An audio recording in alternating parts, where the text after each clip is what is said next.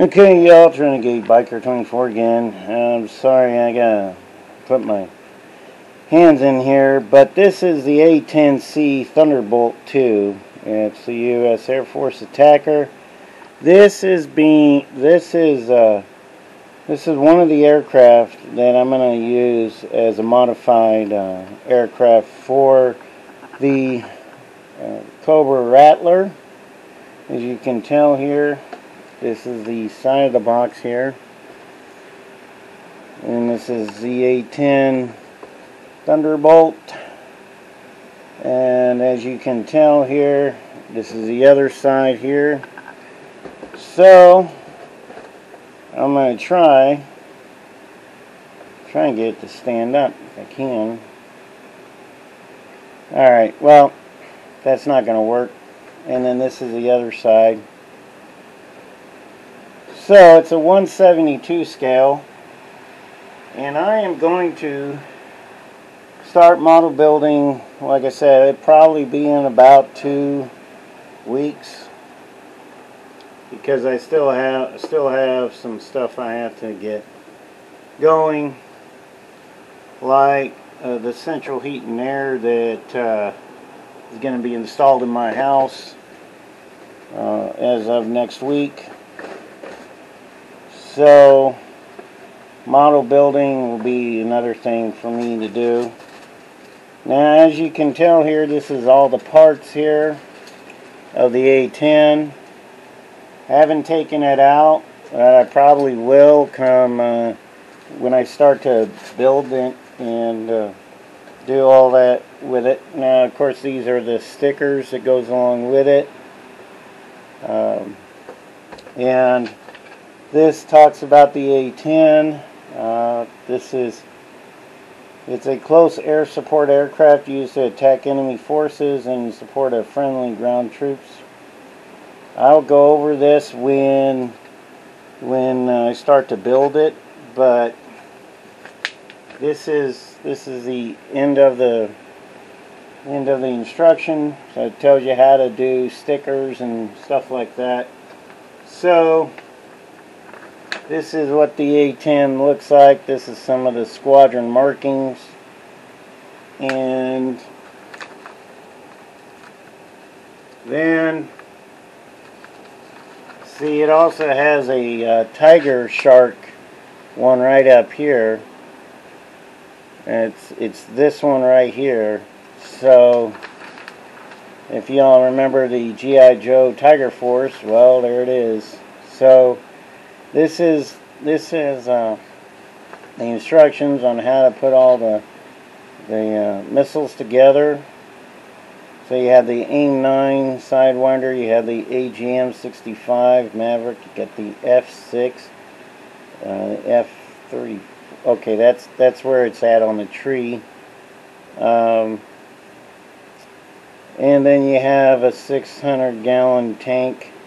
You got you got that right there.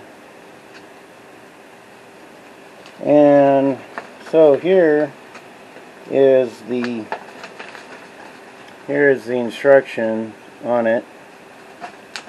And like I said, as I, as I build this, uh, I will I will try to make a uh, 3D image of this through Tinkercad.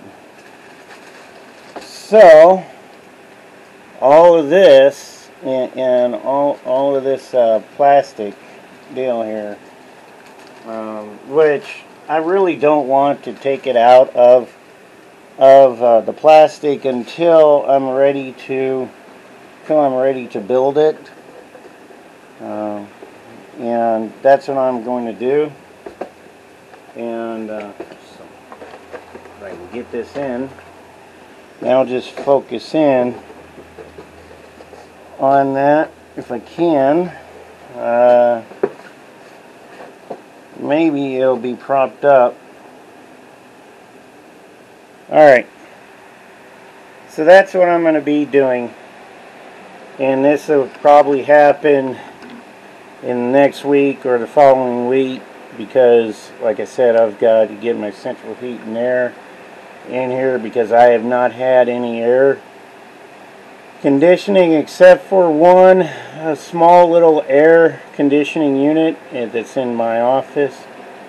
And I haven't had air in my house aside from just fans for about two years now. And then then my heater went out this past summer or not past summer past winter. So I've got a lot of things I've got to be focusing on and and to me uh, model building aside from waiting for freaking pre-orders from G.I. Joe is what's going to keep me sane actually uh, because uh, to me model building has always been a hobby of mine and it's something that I seriously do recommend people start taking up. And and you can follow along with how I'm doing it compared to say the next person uh, that model builds now. I might think about doing a diorama or something like that but right now I'm just gonna model build because like I said it's gonna be a lot a lot uh, a lot easier on the mind than than uh, collecting G.I. Joe pre-orders and waiting for them to come in. And believe me, I've got a whole bunch of them that that I pre-ordered, but they're not going to be in till either next month or uh, or uh, in the case of Target, in a couple weeks. But over the over the next couple of months, I should be getting some GI Joes, and then I'll be doing a review of them. And then we'll just go from there. But, like I said, uh, that that's what I've got. And the next video that I will show you is something that uh, I worked on last night.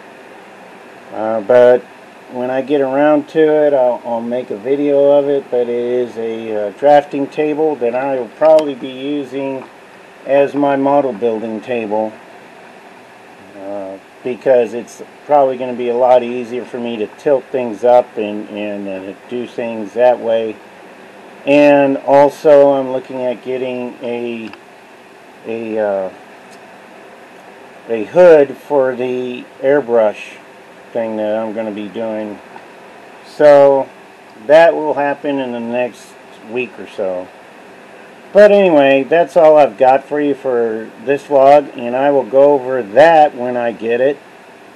But anyway, it's Renegade Biker 24, and I will talk to you all later.